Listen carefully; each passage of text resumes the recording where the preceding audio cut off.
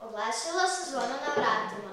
Pred vratima je stajao vitez u oklopu s pravim pravcatim mačem. Želim na turnir, rekao je, ali odmah je promijenio mišljenje i uzdišući kazao je. Ne, ne želim na turnir. Zatim je tužno dometnuo da će se njegova princeza udati za onog tko pobjedi na turniru. Osoba koja je vitezu otvorila vrata pokušala ga je utješiti, rekavši mu da je svaki vitez izvrstan mačevanju. Mama mi je govorila da je jahanje opasan sport. Znaš li koliko je viteza palo s konja i oslijedilo se? Rekao je vitez. A kako misliš osvojiti srce svoje princeze? Upitao ga otvaratelj vrata. Već sam ga osvojio, tako što sam napisao pjesmu dugačku kao njezine platenice. Pjesmu punu ljubavi, rekao je vitez. Onda se vjenčite i točka, kazao onaj koji mu je otvorio vrata. Ne mogu, jedna nota smisla da je jahanje zakon, a mačevanje guba, odgovorio je vitez i zatražio je pomoć. Otvaratelj vrata pristane i odluči naučiti viteza mačevanje i jahanje. Međutim, vitez je bio nespretan i ništa mu nije polazilo za ruku. Otvaratelj vrata ga zatim povede u gradsku kuhinju i uz čaj ga počne ispitivati u čemu je vješt.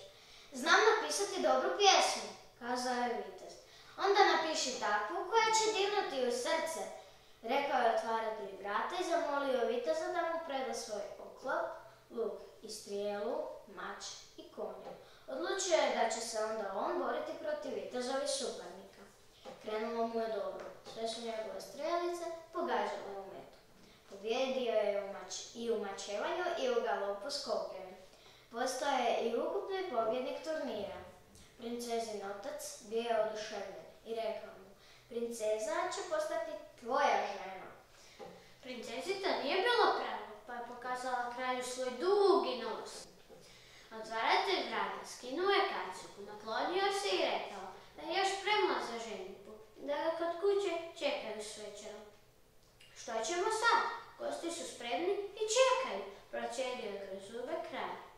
Tada je prišao vitez, sav blistajući od radosti.